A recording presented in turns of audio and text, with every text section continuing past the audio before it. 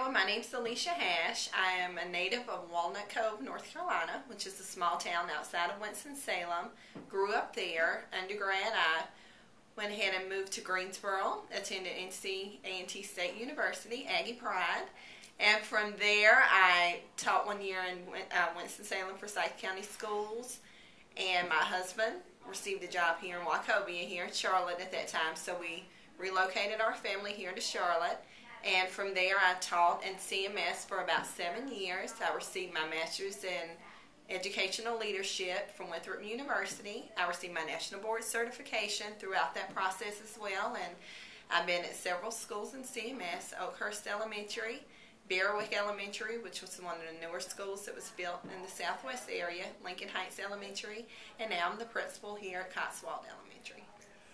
Right now, I had a chance to talk to you earlier, and you told me your hometown was a little bit like Mayberry. Can you elaborate on that? Exactly. My hometown is one one long street, Main Street, two stoplights, and everybody knows everybody. And honestly, it is an exact replica of Mayberry. And they never changed our downtown or anything. It's just like that, small town, small town feels though, small town girl.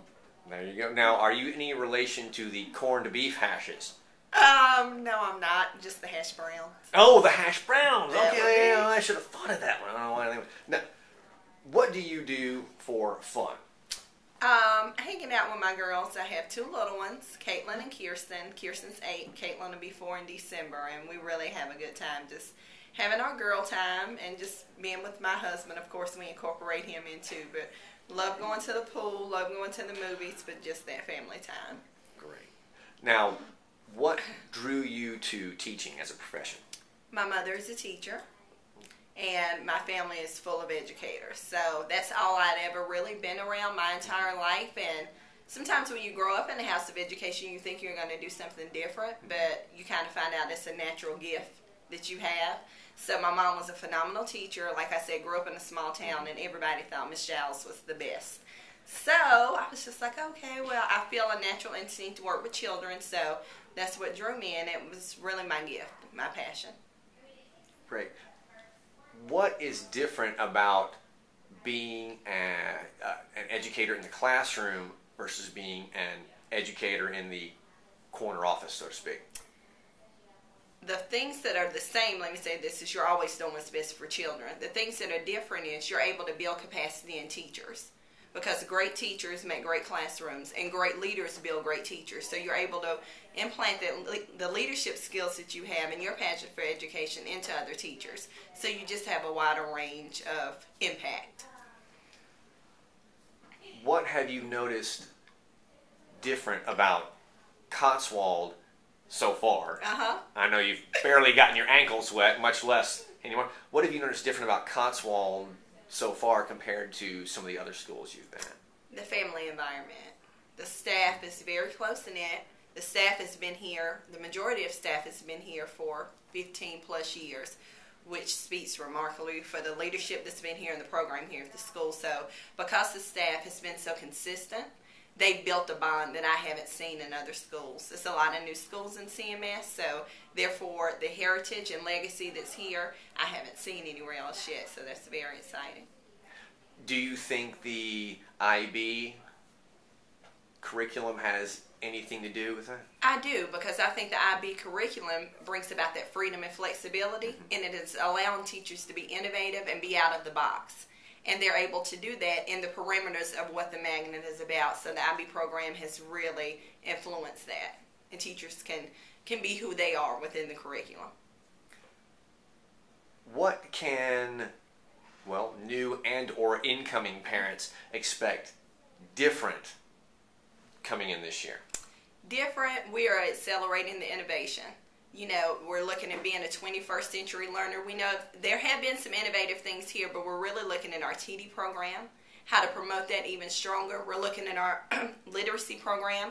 We're bringing in a literacy team this year so that we're really meeting the needs of all students at all levels. Not to say it hasn't been that way before, but we are really accelerating the innovation. We're looking at technology, the teachers in workshops now, so that when they come back this year, they're fresh and they're ready with technology, and all teachers are going. Our new teachers versus our and our veteran teachers. So everybody's excited about our Common Core standards, just going into that and implementing that with our IB because it correlates so greatly. So just innovation. Is that this is the year of change and innovation.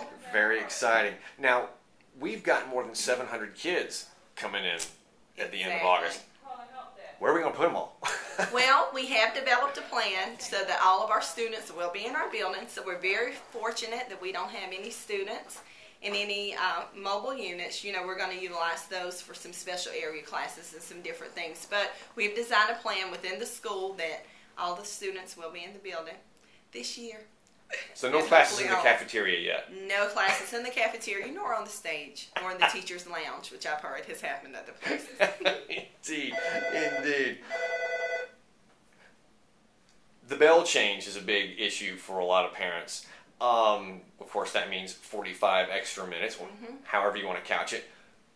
Are there any plans for those extra minutes? Yes, it's going to be called Cougar's Call, and it's going to be an accelerated literacy extension time. So we're really doing, looking at doing some great things with literacy, but it's going to be called Cougar's Call time.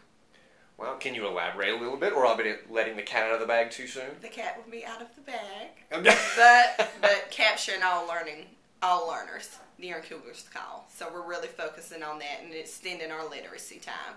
Great, that sounds exciting. Looking forward to that. What are some of the biggest challenges and opportunities coming into a new school? The biggest challenges are different for different schools. The biggest challenge for me here is this is such a great school and they had such a great leader that I really have big shoes to follow in. So for me, it's just, you know, becoming a part of the school and becoming a part of the team, which everybody's been so welcoming on. But just knowing when you come into a great place that's already been nationally recognized and, and is already known to have a fabulous program, making sure you continue that legacy and also making sure you enhance it. Now, advice for incoming parents. What would you share with a parent that's new to Cotswold this year?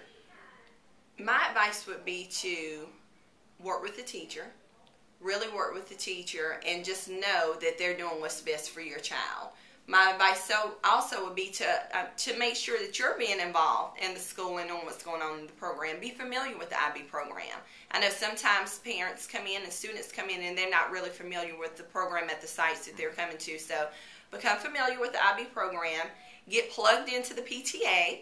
SLT, making sure you know you're a part of the school because we want to hear everybody's voice. We want everybody to be able to make decisions and just know that being a partner with the teacher, the teacher and the parent working together is the most successful component to a great education. Great. Well, thank you, Miss Hash. I really appreciate your time, and we look forward to seeing you when school starts. Thank you so much.